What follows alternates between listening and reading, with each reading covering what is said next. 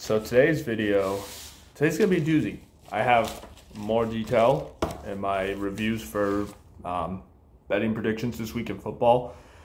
And obviously, I'm gonna hit the great news.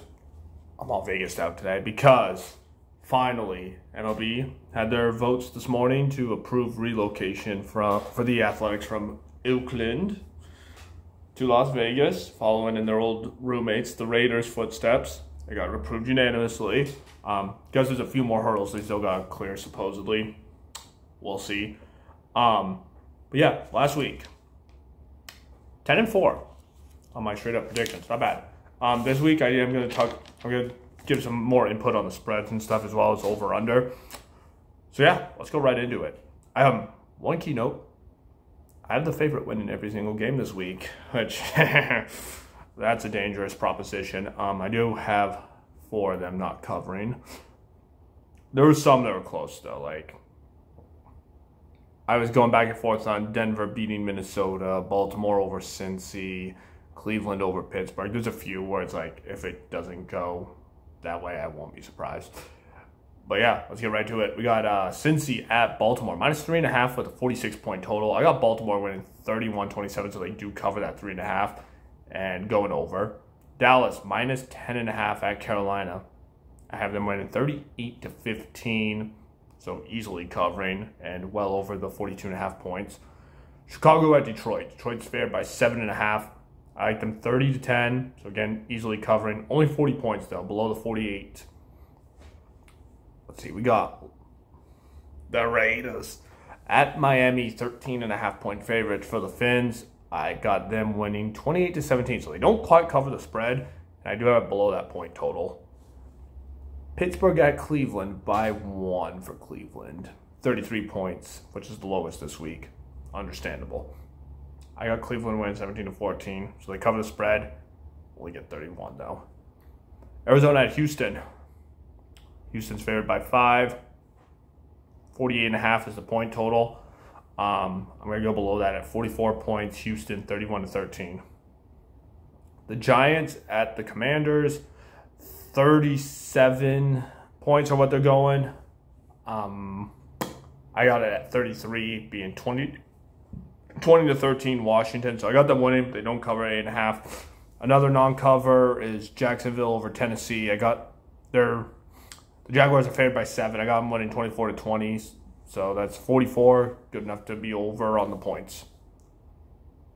Um, the Chargers at Green Bay. Yeah, um, my reactions this way because I know Green Bay is going to get massacred again. That being said, I don't. I wasn't smart enough to check the weather. If the weather is funky at all, then yeah, this might vary. But um, as of right now, I got the Chargers went 35 to 13. And so that's easily going to cover the three points that they're favored. And that's good for 48 points. So over on the 44. Tampa Bay at San Fran. Dude, San Fran, they bounced back up to that well timed bye week. I think they're going to do pretty good again this week. I got them covering 35 21. So they cover the 12 over the 41 and a half. That felt really low to begin with. I don't think I'm necessarily exasperated when I say 56 points. Uh, Jets at Buffalo. Buffalo favored by seven. Got 21 to 17 Buffalo. So they're not going to cover, and they're going to come in just short of the 39 and a half points at 38. Seattle, one point favorites against the Ram, or at the Rams. I got them winning 24 21. So they cover. As, and they don't quite hit the 46. I got under, but I'm playing it close at 45. Minnesota, Denver. This is the game that gave me headaches. Originally, I was going to say Minnesota. I don't know. I think Denver might be cooking a little bit of momentum going on there. I hope you all see the pun there, but let Russ cook. The two and a half point favorites. I got them winning by three, 20 to 17. So they do cover. Only 37 points, though. Not good enough for the 42 and a half. And then Monday night, Super Bowl rematch. Philly at KC. KC's favored by three. There's one I went back and forth on, too. Um, I think KC just needs to win more. So I think there'll be some desperation they're gonna win 31 to 28. So that's gonna actually, I don't know, that's gonna cancel out. They're gonna win three even. Um, there's a 45 and a half was the points. I got it 59. Um, Again, weather conditions may play a factor in it. But at first glance, those are my predictions. Again, at that point, your weather will start to factor into some of these games, especially on the points totals. Now, for the whole Oakland Athletics relocation, I know we talking baseball only because it's of personal interest to me. But my home city, Las Vegas, looks like we're getting our baseball team finally.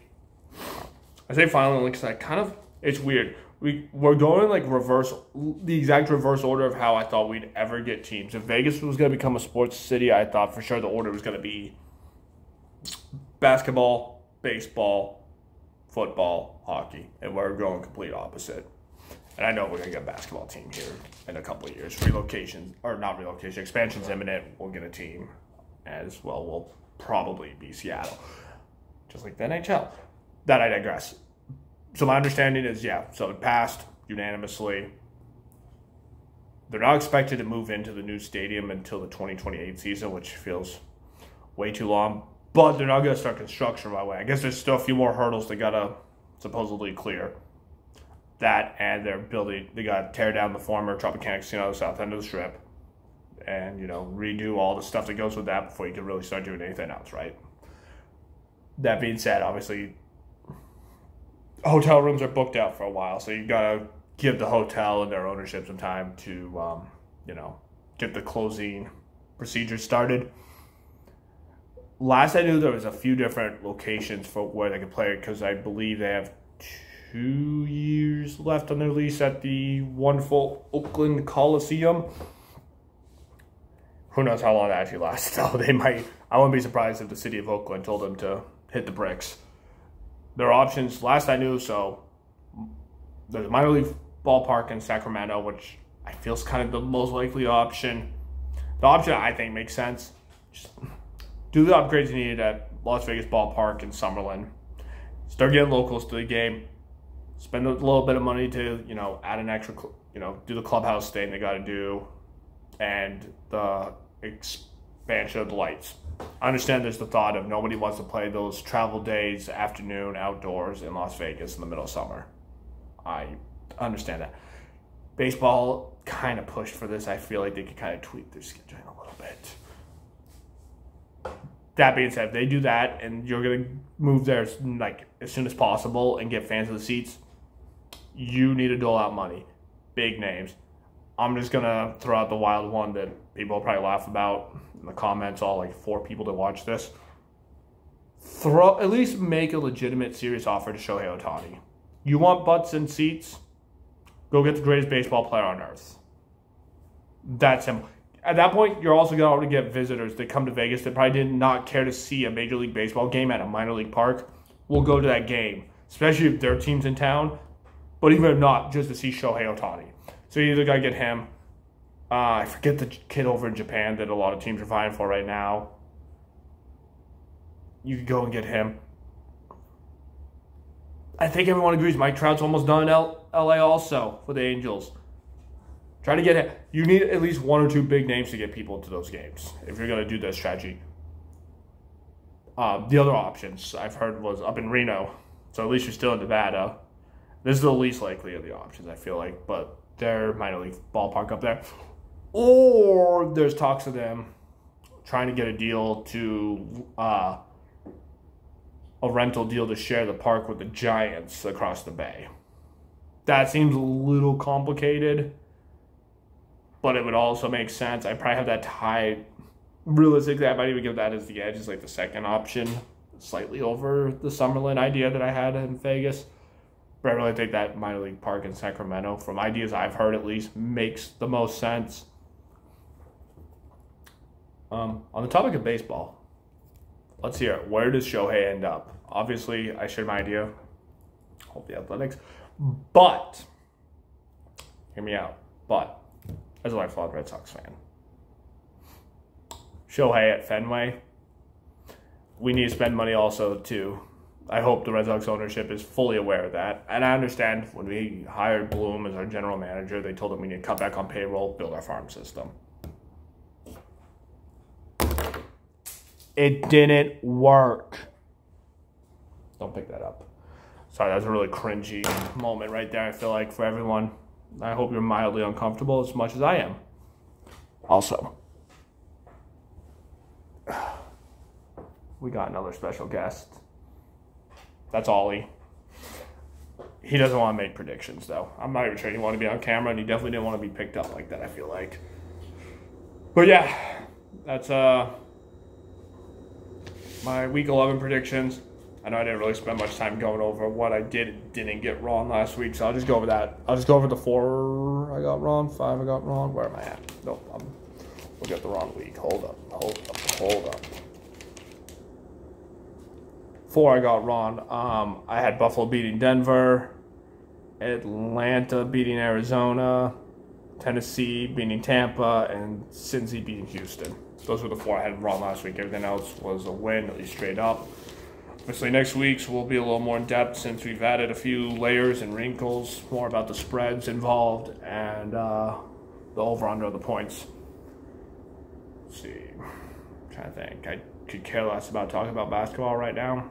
Sorry. Sorry. Actually, one second. What are your thoughts on these courts that everyone's got going on? I thought they were cool at first, but then you see them and it's so distracting. Like everyone in America is used to the same, generally speaking, the same colored hardwood, right? I know sometimes colleges do some cool stuff, but not the entire court. Like it's way more distracting watching a Boise State football game with the Smurf turf. That's just my thoughts. So yeah, let's hear that in the comments. What are your thoughts? Like where's Shohei going? And your thoughts on these fancy, obnoxious basketball court designs. And we'll see you next time. Good luck again, as usual, everyone, and let's go make some money.